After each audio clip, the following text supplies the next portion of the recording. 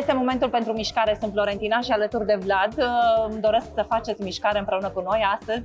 Un exercițiu pentru abdomen, uh, pentru mușchi abdominal, pentru centura abdominală și asta pentru că procesul de slăbire uh, cred că le aveți în minte, iar exercițiile pentru abdomen sunt foarte valoroase când vorbim de slăbire și tonifiere.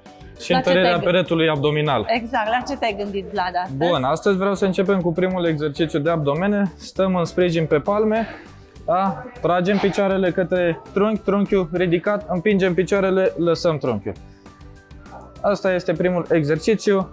Bun, să nu uităm de respirație. În momentul în care contractăm abdomenul, scoatem aerul.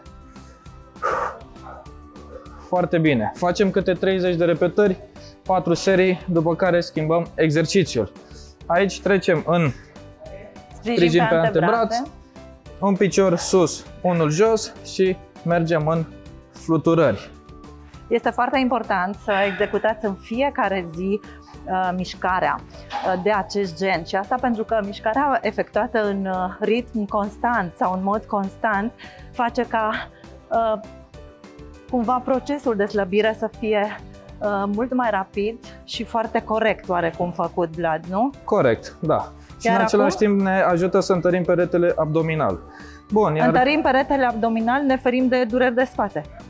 Automat o să ne ferim și de dureri de spate, dar trebuie să întărim și partea lombară, să nu mai avem deloc dureri de spate. Iar ultimul exercițiu, trecem la forfecări.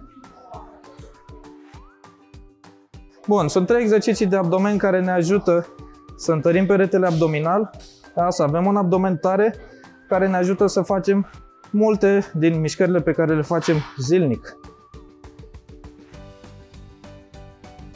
Am făcut o treabă bună împreună astăzi uh, cu Vlad. Vlad, îți mulțumim, iar vă vă spun că procesul de slăbire este un proces pe care trebuie să-l aveți în vedere uh, ca un cumul de mai mulți factori. Să faceți mișcare și să vă alimentați în mod echilibrat. Fibrele trebuie să facă parte din alimentația voastră pentru că dau senzația de sațietate și îți dau și energie pe parcursul antrenamentelor uh, și poate ceaiul verde trebuie la fel introdus pentru că el accelerează metabolismul. Continuă emisiunea.